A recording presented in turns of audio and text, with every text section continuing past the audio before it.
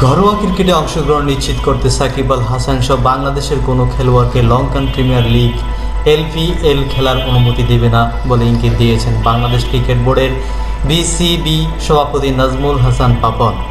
করোনার এই সময়ে, কোয়ারেন্টাইনের সময় নিয়ে দুই বোর্ডের মধ্যে মতপার্থক্যের কারণে বাংলাদেশের সঙ্গে শ্রীলঙ্কায় তিন ম্যাচের টেস্ট সিরিজ স্থগিত হয়ে যাওয়ার কয়েক মুহূর্ত পর এই সিদ্ধান্তের কথা জানিয়েছে বিসিবি আইসিসি নিষেধাজ্ঞা থেকে বেরিয়ে আসার পথে রয়েছেন সাকিব আল হাসান। তিনি সহ বাংলাদেশের বেশ কিছু ক্রিকেটারদের নাম রয়েছে এলপিএল এর নিলামে।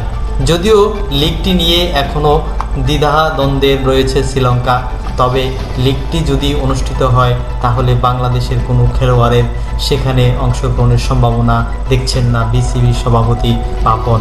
বাংলাদেশের ক্রিকেটারদের এলপিএল খেলার অনুমতি দেওয়া হবে কিনা জানতে চাইলে জবাবে তিনি বলেন, আমি কোনো সম্ভাবনা দেখছি না।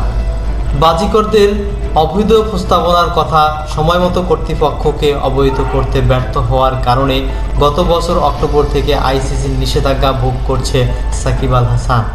আগামী আঠাইশ অক্টোবর পর্যন্ত বলবৎ থাকবে এই নিষেধাজ্ঞা। উনত্রিশ অক্টোবর থেকে আগের মতো ম্যাচ খেলতে পারবেন সাকিব। বিসিবি প্রধান আগে বলেছিলেন, নিষেধাজ্ঞা মেয়াদ শেষ হওয়ার পরপরই খেলায় ফিরতে পারবেন সাকিব। এমনকি শ্রীলঙ্কার বিপক্ষে টেস্ট সিরিজেও বাংলাদেশের পক্ষে সাকিবের খেলার সম্ভাবনার ইঙ্গিত দিয়েছিলেন তিনি। কিন্তু সিরিজটি বাতিল হওয়ার পর বাংলাদেশ এখন ঘরোয়া টুর্নামেন্ট আয়োজনের ছক কষছে। বিসিবি প্রধানের ইঙ্গিত অনুযায়ী এলপিএল এর পরিবর্তে সাকিবকে ঘরোয়া ক্রিকেটের অংশ নিতে হবে। পাপন বলেন, অক্টোবরে উনত্রিশ তারিখের আগে সাকিব খেলতে পারবে না। কিন্তু এলপিএল এর জন্য সাকিবকে ছাড়পত্র দেওয়া হবে কিনা প্রশ্ন করা হলে জবাবে তিনি বলেন, আমরা লিগ শুরু করতে যাচ্ছি। সেটি আমাদের দেশেই। নিউজটি ইত্তেফাক থেকে নেওয়া হয়েছে।